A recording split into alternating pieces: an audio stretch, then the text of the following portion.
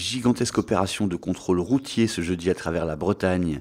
550 gendarmes, douaniers ou CRS étaient mobilisés pour l'occasion avec le renfort d'équipes cynophiles et d'un hélicoptère. Objectif, lutter contre la délinquance routière, mais aussi contre les trafics et l'immigration irrégulière. Le bilan de l'opération doit être connu dans la soirée. Il n'y aura pas d'antenne de téléphonie mobile de 30 mètres de haut à l'entrée du Conquet dans le Finistère. La justice vient de rejeter une plainte de Free contre le maire de la commune qui avait refusé son implantation. Fait notable, c'est la conservation du paysage qui est mise en avant dans le jugement du tribunal administratif.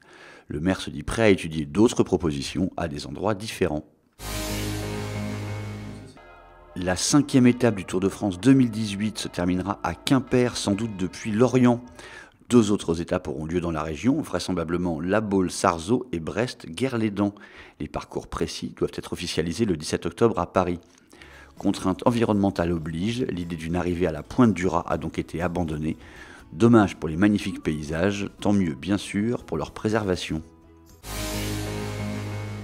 Un parrain de prestige pour Initiative Cœur, le monocoque de Tanguy de la Motte, un certain Thomas Pesquet, habitué des petits espaces et de l'espace tout court. Le spationaute a même effectué le convoyage du 60 pieds entre les Sables d'Olonne et La Rochelle le week-end dernier. Tanguy de la Motte s'alignera avec Samantha Davis sur la prochaine Transat Jacques Vabre. Départ du Havre le 5 novembre, direction Salvador de Bahia au Brésil. Attention, décalage de date pour la fête du bruit de Landerneau dans le Finistère l'an prochain. Motif Le deuxième week-end d'août, les coefficients de marée montent jusqu'à 109. Le site risque donc l'inondation et cette fois il ne s'agira pas de bière.